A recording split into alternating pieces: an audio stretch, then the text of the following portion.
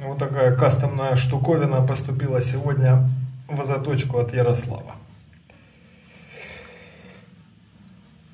По правде сказать, ни малейшего представления не имею, чьих кистей данная работа.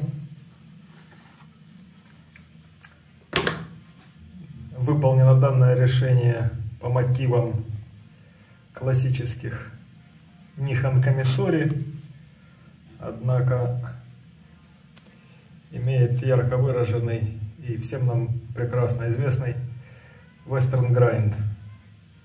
Другими словами,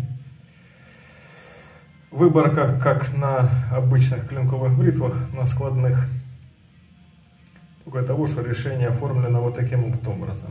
Имеет вот такой, вероятно, знак производителя, чем-то похожий на ежа. Боюсь ошибиться, Пусть спецы поправят. Сразу отмечу следующее. Роквеллов здесь напихали по карманам по всем, мне кажется. Тут, наверное, не 61, не 62, туда в сторону больше 65 единиц. Ну и сталь, наверное, где-то в районе, ну, боюсь ошибиться, но по характеру работы, наверное, что-то типа Х12МФ такая очень твердая, очень твердая, очень такая требующая внимания при обработке. Однако, нельзя не отметить очень хорошее взаимодействие комплекса данной стали, ее, э, скажем так, характеристик и взаимодействия в результате с абразивными материалами. Очень правильно, не могу сказать, что крайне легко она точится, очень правильно, никаких выпадений там, ничего этого нет. Единственное, сразу, забегая чуть-чуть вперед к Ярославу, а вместе с ним ко всем владельцам вот таких вот твердых решений.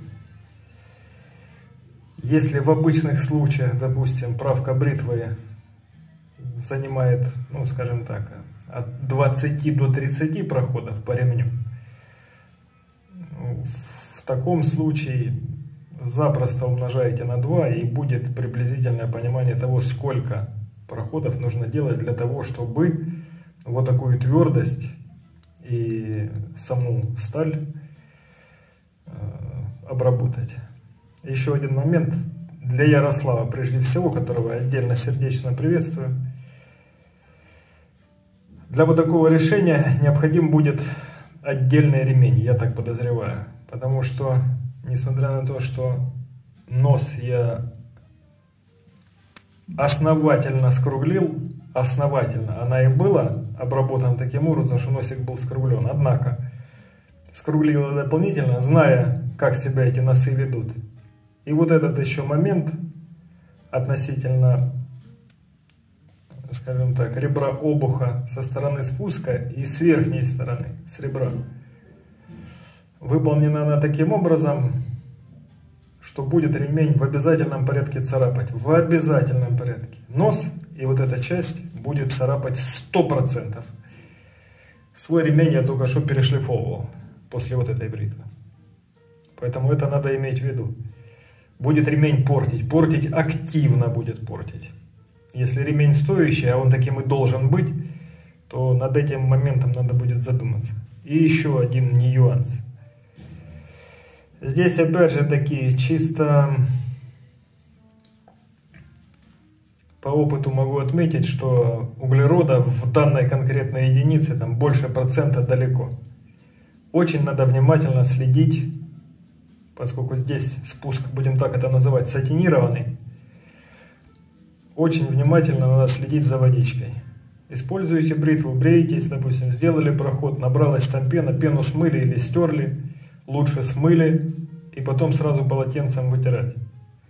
Поскольку вот эти, э, вот эти зарождающиеся очаги коррозионные, это все от того, что влага своевременно не стирается. Так, мы же начнем потихонечку проверку нарез волоса. Ну, заточилась, справедливости ради. Очень, очень хорошо. Но опять же таки, очень и очень твердая сталь. Тут, опять же таки, ничего мы не услышим, поскольку выборка недостаточная для образования каких бы то ни было аудио составляющих. Так, на корень, а это уже от корня пошли.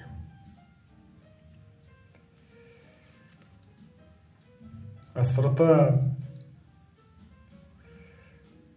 крайне приличного уровня набралась. Ну что, больше, в общем-то, добавить, наверное, нечего. Бритва пакуется, отправляется законному владельцу. Я же с вами надолго не прощаюсь. Вот так вот уже. И вот здесь я еще подожму биндером, чтобы она не телепалась внутри. Поскольку он достаточно такой свободный, а повредить режущую кромку никак нельзя. Поэтому что остается добавить? Аригато гадзаймас и до скорых встреч в эфире.